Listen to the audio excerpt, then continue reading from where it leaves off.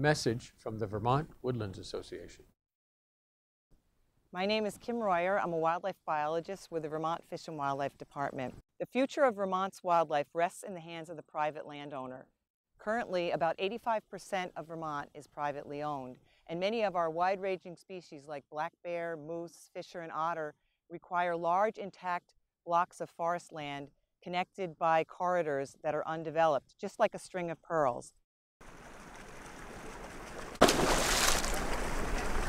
There are many things a Vermont landowner should think about when managing their property for wildlife.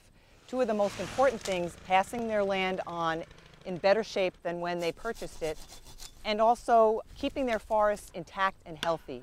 The Vermont Woodland Association actually offers many opportunities for landowners to learn about how to manage their property for wildlife. For more information, contact vermontwoodlands.org.